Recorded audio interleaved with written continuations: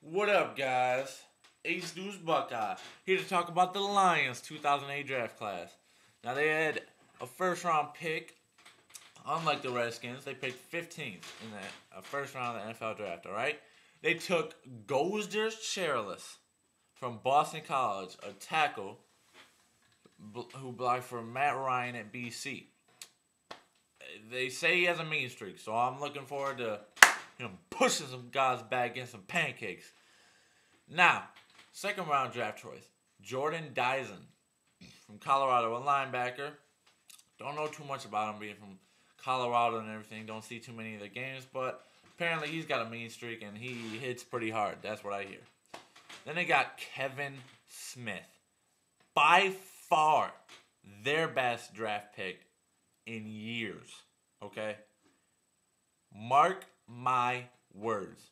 This kid is going to be a stud in the NFL, all right?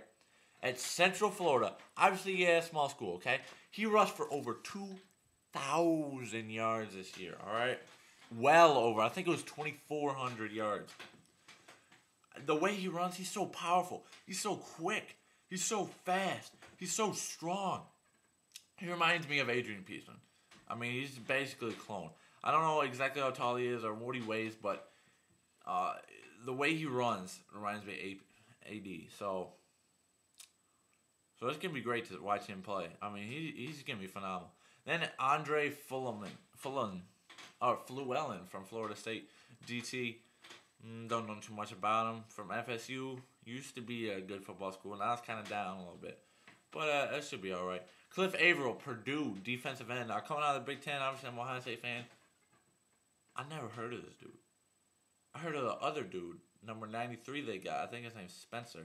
I'm not sure, but Cliff Avril? Can't say I recognize the name. Kenneth Moore, wide receiver Wake Forest. You know, picking up a wideout. There's no wideout. Thank the Lord it wasn't in the first round this year. Then Jerome Felton, fullback from Furman, little known Furman. We'll see. Obviously, don't know anything about him. Landon Cohen, D tackle from the Ohio Bobcats. Should be all right. Come out of the MAC conference. Then Caleb Campbell, the first player drafted from Army ever, because they're allowing people to come out in the draft and uh, and enter the draft right after graduation. So, Lions draft class. We'll see how it is. Later.